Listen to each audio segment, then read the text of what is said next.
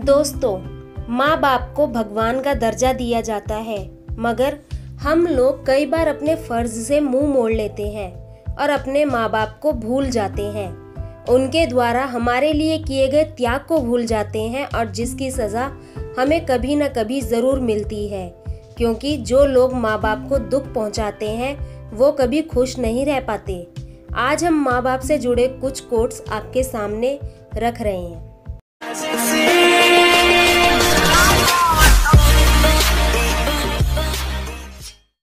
ज़िंदगी में दो लोगों का ख्याल रखना बहुत ज़रूरी है।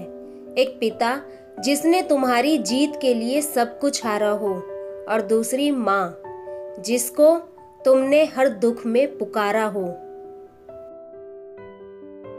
एक माँ जितनी ताकत किसी में नहीं होती है, जनाब माँ तो वो है जो मौत के मुँह में जाकर औलाद को जन्म देती है। सन्नाटा छा गया बंटवारे के किस्से में, जब माँ ने पूछा, मैं किसके हिस्से में हूँ? एक पिता, हमेशा नीम के पेड़ जैसा होता है, जिसके पत्ते भले ही कड़वे हों, पर वो छाया हमेशा ठंडी देता है। आज रोटी के पीछे भागता हूँ। तो याद आता है मुझे रोटी खिलाने के लिए माँ मेरे पीछे भागती थी। पता नहीं कैसे पत्थर की मूर्ति के लिए घर में जगह बना लेते हैं वो लोग, जिनके घर में माता पिता के लिए कोई स्थान नहीं होता। न जाने कितने दुख कमाता है एक पिता औलाद की खुशी खरीदने के लिए। फिर भी उसी औलाद के महल में एक कोना नहीं मिलता माँ बाप को ठहरने के लिए।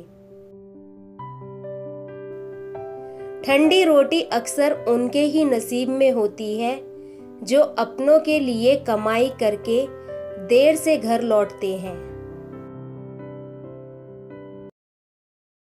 हर कलाकार अपनी कला को अपना ही नाम देता है, लेकिन माँ जैसा कोई कलाकार इस संसार में नहीं है, जो स्वयं बच्चे को जन्म देकर नाम उसके पिता का देती है। माँ बाप की दवाई की पर्ची अक्सर गुम हो जाती है, पर लोग वसीहत के कागज़ बहुत अच्छी तरह संभाल के रखते हैं। मजबूर पिता द्वारा कहे गए भावुक शब्द, बोझ ईंटों का और बढ़ा दो साहब। मेरे बच्चे ने आज एक खिलौने की फरमाइश की है। किसी ने माँ के कंधे पर सर रख के पूछा, माँ, कब तक अपने कंधे पर सोने दोगी?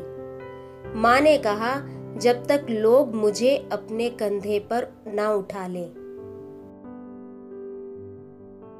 माँ और पिता के रोल में बस इतना सा फ़र्क है।